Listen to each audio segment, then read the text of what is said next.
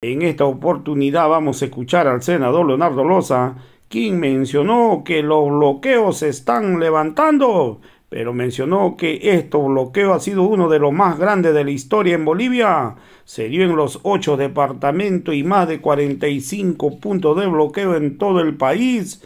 Mencionó que el gobierno de Lucho Arce ha subestimado la capacidad del pueblo Hoy mencionó también que él es el único responsable de todos los bloqueos. También ha pedido investigar la aparición sorpresiva de, de dinero, o sea, que ha denunciado pues el ministro de gobierno. También el senador Loza mencionó que hoy están buscando de procesarle por los bloqueos. Empezó la persecución política, denunció el senador Leonardo Loza. Hoy pide saber al Ministerio Público de dónde sacaron la plata, de dónde han sacado esa plata para buscar de culpar a los que hoy están realizando bloqueo. Entonces aquí eh, van a tener que aclarar ¿ah? de dónde han sacado ese dinero. Vamos a escuchar pasajes de esta denuncia. Los bloqueos, sin embargo, ya, ya levantaron, de la carretera. Bueno, mmm, sí, bajo la decisión de nuestras confederaciones, principalmente de la única, de ayer anteayer que anunció el, levantar, entrar en cuarto intermedio, creo que paulatinamente han levantado y todavía siguen levantando a nivel nacional. Hemos llegado, creo que eh, ha sido una de las movilizaciones más grandes de estos últimos tiempos. 40, más de 45 puntos de bloqueo a nivel nacional como nunca antes visto. Eh, de los nueve, en ocho departamentos en algún momento se ha bloqueado, así que considero que las, la dirigencia nacional todavía sigue informando algunos puntos, así como algo ha quedado acá en Cochabamba. ¿Por qué no se levanta el bloqueo en, justamente en la zona hacia el, hacia el occidente? Se nos ya se había quedado un cuarto intermedio.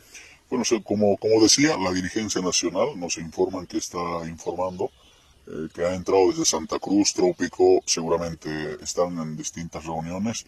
Hay algunas posiciones en el, toda, que existe todavía en algunos puntos de bloqueo, así como en Parotani. Seguramente la dirigencia nacional se reunirá y esperamos eh, que lleguen también a un acuerdo. Sí, responde a las pérdidas, senador. También muchos sectores están declarando también emergencias según Por supuesto que sí. Eh, la pérdida es para el pueblo boliviano, pero aquí hay un responsable que nunca quisieron elecciones judiciales, creo que esta movilización por, para el bien del pueblo boliviano ha torcido, ha doblado el codo y el brazo de este gobierno que nunca, sin ninguna movilización, nunca hubieran aceptado elecciones judiciales en nuestro país, hubieran seguido pisoteando nuestra constitución política del Estado, pero considero que la fuerza del pueblo recalco una vez más, ha doblado, ha hecho retroceder a este gobierno, pero sin embargo de estas pérdidas que sean productivas, sociales o económicas, el principal autor y responsable, eh, con nombre y apellido, es el gobierno. ¿Cuál es la postura ahora, de los parlamentarios de Cochabamba, este, lunes y martes en las sesiones que van a convocar? Eh, ya está convocado para el día lunes en tema de diputados, seguramente el día martes en senadores se va a aprobar. Eh, considero que las dos, uh, primero, el tema de convocatoria a las elecciones judiciales eh, está trabajado y acordado y acabar con la prórroga, ¿no? En base a una ley de 075 que viene del Senado, que solo tienen que considerar los diputados, que hace respetar los artículos de la Constitución Política del Estado que no permite ninguna prórroga de eh, los ex autoridades, en este caso magistrados. Esa es la postura. Sí, está, está en el acuerdo, está en el acuerdo de que ningún artículo que señala seis años uh, de gestión de los magistrados se, no se pide. Este se ha, está firmado, está acordado, así que seguramente la sesión y eh, el proyecto de ley se va a aprobar con esa naturaleza. ¿Qué tendría que pasar con las autoridades del Poder Judicial? En realidad ya no son nada. Ellos ya hace dos, tres semanas atrás deberían irse a su casa. Ahorita deberían estar descansando en su departamento, en su casa, con su familia, porque están perdiendo su tiempo. Se siguen aferrándose, tarde o temprano van a ser casados con las leyes bolivianas y por supuesto por el pueblo boliviano. ¿Quiénes seguirían tanto? En la ley está previendo algunos trabajos técnicos, ¿no? No creo que el pueblo boliviano en seis meses se porque la justicia en nuestro país ni, ni en seis meses ni en seis años no ha avanzado nada, solo ha perjudicado a ese pueblo boliviano, así que seguramente está previsto eh, cómo de alguna manera se trate eh, sencillamente la parte técnica en tema de justicia. Senador, ahora el ministro hablaba de sanciones, procesos a alcaldes que han participado o que hubieran colaborado con su persona también en movilización. No, yo creo que a mí me han acusado, todo, todo el gabinete entero han, han debatido con qué cargos podían procesarme, ¿no? De haberme visto en los diferentes puntos de bloqueo. Si no hubieran anunciado el levantar el bloqueo de la dirigencia nacional, yo el día de ayer igual me hubiera sumado al bloqueo nacional acá en el departamento de Cochabamba, pero ya anunciaron el, levantar el bloqueo, así que estamos más tranquilos.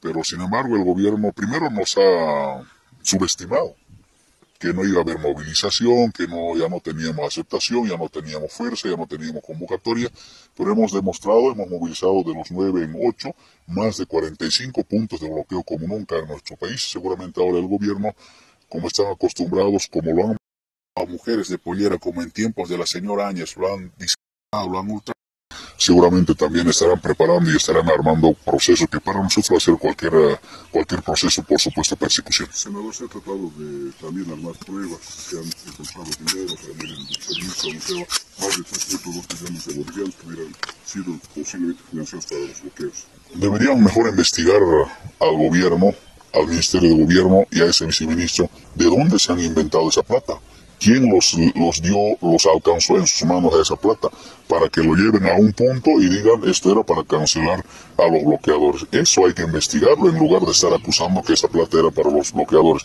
Nosotros tenemos información que esa plata no sé de dónde se han inventado, han entregado al gobierno, el gobierno al Ministerio de Gobierno y al Ministerio de Gobierno seguramente al viceministerio para que hagan una conferencia de prensa con una plata inventada, fabricada, no sé, con seguramente de dónde será su origen y culpar a los bloqueadores. Más al contrario, a ellos hay que investigar de dónde se han inventado esa plata, de dónde han hecho aparecer esa plata.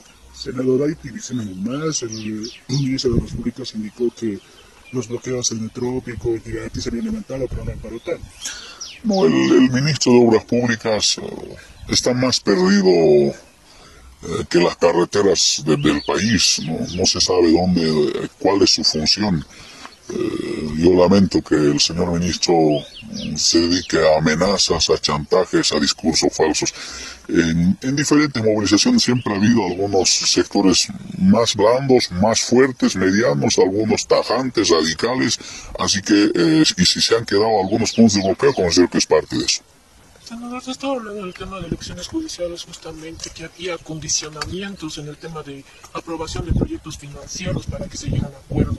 ¿Se ha visto Bueno, pero oh, nosotros en ningún momento, en realidad, ningún proyecto, aunque crédito que endeuda a nuestro país, nunca nos hemos opuesto, solo hemos pedido que se maneje de manera transparente.